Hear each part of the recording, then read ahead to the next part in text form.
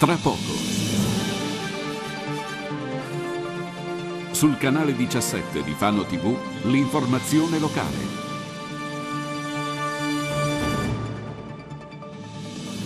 È stata ritrovata morta vicino al fiume la donna uscita di casa ieri sera a Cagli. 33enne di Marotta arrestato dai carabinieri per spaccio, la compagna cerca di disfarsi della droga gettandola nel water. 25 milioni di euro in cassa, tanto ammonta il tesoretto del comune di Fano. Disservizi al cimitero dell'Ulivo, le vostre segnalazioni consegnate all'assessore ai lavori pubblici.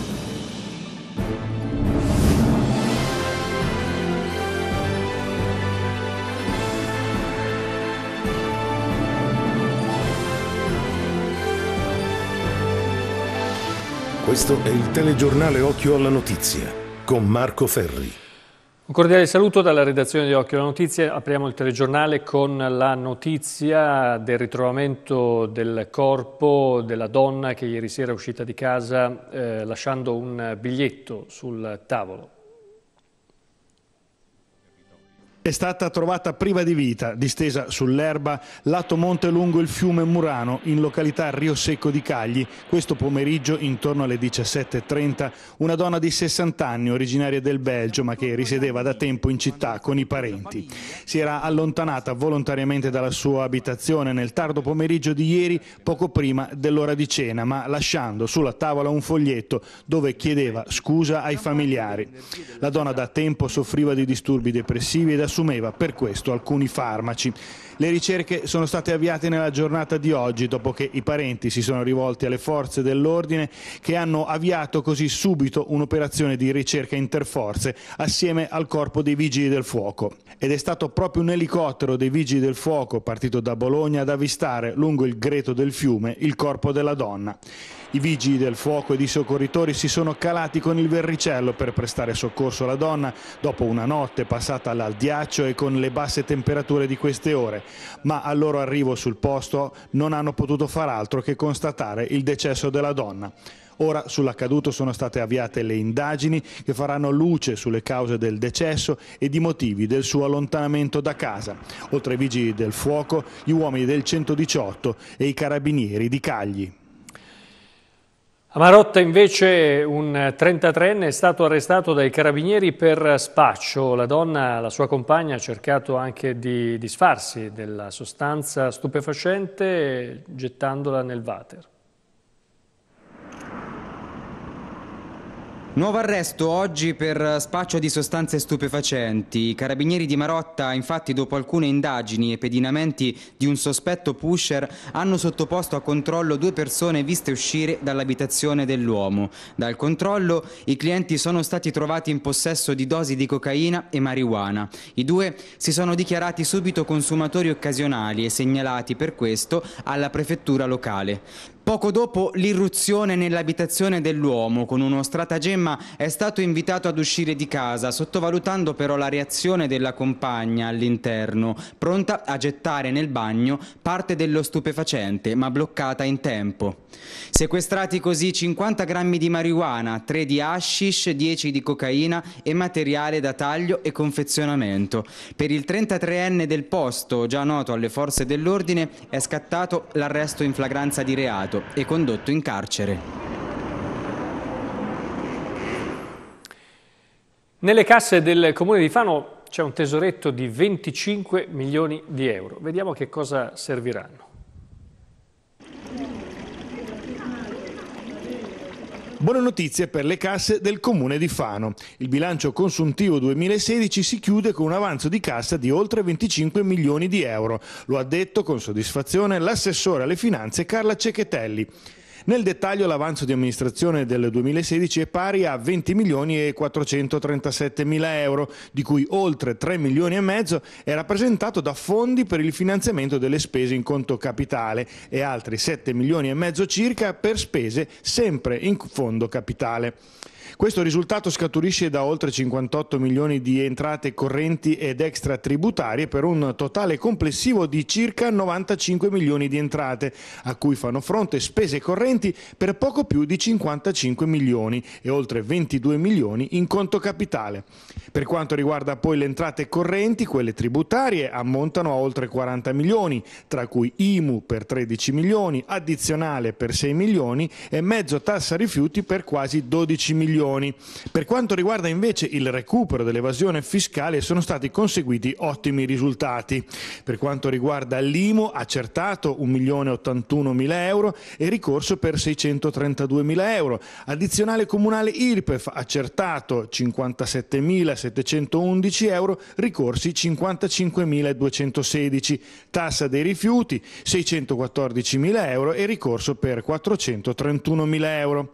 Questi risultati, ha aggiunto l'assessore, ci hanno consentito di effettuare numerosi investimenti in opere nel 2016, tra cui il risanamento di diversi edifici scolastici, la riqualificazione dello stadio Mancini, la realizzazione del tratto dell'interquartieri tra via Roma e via Trave e la qualificazione di via Garibaldi, nonché l'ampliamento del cimitero di Rosciano. Il dragaggio all'ingresso del porto anch'esso è frutto di queste entrate. Che fine ha fatto l'immobile, dove un tempo c'era la caserma dei Carabinieri? Stiamo parlando di quell'immobile che si trova davanti alla stazione ferroviaria di Fano e andiamo a vedere che fine farà. Prima convento, poi caserma dei Carabinieri ed ora nuova sede dei servizi educativi del comune di Fano. Dopo vent'anni di abbandono, l'edificio di fronte al bastione San Gallo, ex sede della caserma dei Carabinieri di Fano, entro l'estate tornerà ad essere animato e frequentato. Una iniezione di 375 mila euro per lavori di completamento del primo intervento di ristrutturazione operato dall'ERAP consentiranno di attivare 35 postazioni lavorative collegate a fibra ottica con la casa madre del comune, liberando così i locali di via Vitruvio dove i servizi educativi hanno attualmente la loro sede, consentendo così un notevole risparmio in termini di locazione al comune di Fano, essendo la nuova struttura di proprietà. Questo è un altro bel risultato che noi otteniamo perché in due anni e mezzo, in tre anni diciamo, andremo ad azzerare quasi completamente eh, quella che è la spesa per gli affitti degli spazi pubblici. Quindi anche questo è un bel risultato, non nascondo la soddisfazione per un altro risultato importante ottenuto per la città di Fano. Dopo i servizi sociali che si sono trasferiti a Sant'Orso, tocca ora quelli educativi traslocare. I lavori iniziati questo febbraio dovranno terminare entro l'estate per consentire così a settembre di operare il trasferimento delle maestranze. Anche la facciata dell'edificio subirà un lifting come tocco finale, dopo che impianti termici, elettrici e finestrature a doppia camera hanno aggiornato dal punto di vista anche energetico questo storico edificio fanese. In tanti, in tanti ci avete scritto in questi giorni per segnalarci che i bagni pubblici del, del, del cimitero dell'Ulivo erano fuori servizio e così abbiamo portato le vostre dimostranze, come facciamo sempre, all'assessore di competenza. Lavoro in corso al cimitero dell'Ulivo in quella parte di struttura che ospitava i servizi igienici. Il cantiere, appena si entra sulla sinistra con tre VC chimici, dimostra che il disagio è concreto, soprattutto per le persone anziane, alla parte più cospicua quindi dei visitatori del cimitero, che con certe strutture non hanno una grande confidenza e che ci chiedono a quando sarà ripristinata la condizione iniziale. Inoltre molti lamentano il fatto che recandosi nella parte più estrema della struttura, in caso di necessità di un bagno devono risalire fino al cancello d'entrata praticamente per poterne usufruire usufruirne di uno e che quindi una stazione intermedia, diciamo così, non guasterebbe. Abbiamo girato le osservazioni fatteci dai cittadini e le loro esigenze all'assessore competente del comune di Fano, Cristian Fanesi eh, non sono stati riaperti i bagni che in passato c'erano e quindi attualmente i bagni sono bagni chimici, quindi con un uso più scomodo.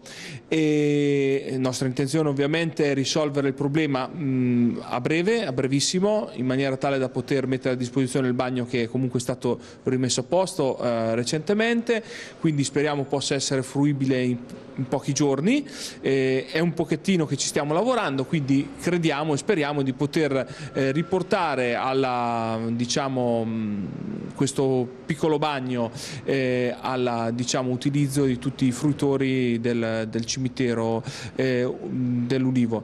In più molte volte ci sono arrivate richieste per posizionare dei bagni magari anche provvisori eh, in fondo al cimitero dell'Ulivo perché eh, le persone che eh, per un motivo o per un altro sono costrette a frequentare il cimitero eh, hanno solo un bagno in cima alla salita quindi è stata una specifica richiesta di molte persone che mi hanno incontrato in questi tempi e il nostro obiettivo è quello di mettere dei bagni chimici magari eh, bagni chimici ovviamente perché non ci sono gli allacci di norme eccetera magari in posizioni anche eh, più comode per accedere e quindi eh, contiamo a breve di sistemare entrambi i problemi.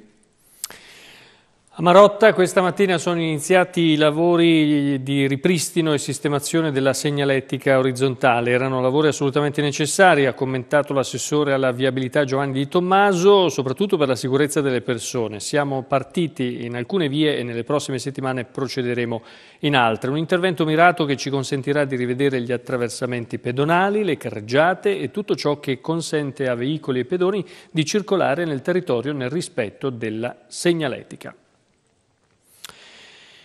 Even Mattioli di professione fa lo psicologo e lo psicoterapeuta, però ha anche una passione, quella di scrivere, così in questi giorni sta presentando il suo libro. Allora, Even Mattioli, un'opera prima, ti hai cambiato insomma, la veste, ti sei dedicato alla scrittura, come mai? Ma la scrittura eh, in realtà ha sempre fatto parte della mia vita, è sempre stata parte integrante della mia vita da quando avevo 14 anni. E quindi la scrittura si dice che è un bisogno, uno scrive per bisogno, ed è vero che è un bisogno personale, però è anche altrettanto vero che c'è il desiderio in chi scrive, perlomeno in me c'era e c'è, di vedere, di arrivare un giorno a vedere l'effetto che potrebbero fare le tue parole su altri che magari potrebbero aver voglia di leggerti e questo insomma è accaduto grazie a questa prima pubblicazione. Ecco, per l'opera prima cosa ti sei ispirato? Perché il contenuto? Come, come hai iniziato? Come inizia questo, questo percorso?